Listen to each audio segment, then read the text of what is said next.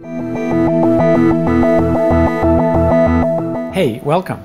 I'm Linus Torvalds and I started Linux in 1991. One of the more interesting parts about Linux is how it turns out in the most unexpected places. So when I started Linux, I needed a, an operating system for my own use.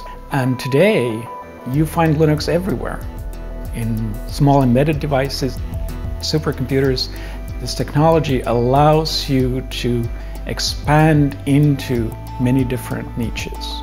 The thing that makes Linux interesting to me is all the interesting technology, but it's also all the people involved and working in an open source project where you work with hundreds, potentially thousands of people makes the whole technology even more interesting.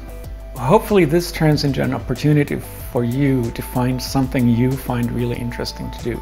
And one of the nice things about Linux and open source in general is that there's a lot of different things and everybody has something that you can give to the project.